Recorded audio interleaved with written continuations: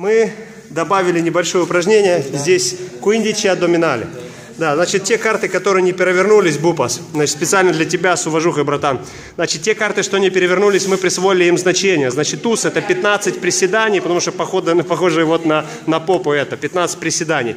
Крест это непосредственно 15 эм, пресс в любой форме, потому что это официальная карта, вот официальные карты, не имеющие значения, они будут всегда 15.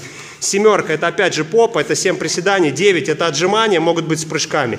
Вот опять же 8 пресс и 15 отжиманий. То есть все карты, которые не легли рубашкой вверх после этого упражнения, спортсмен должен будет проделать. Отлично. Уважуха, респект, пока.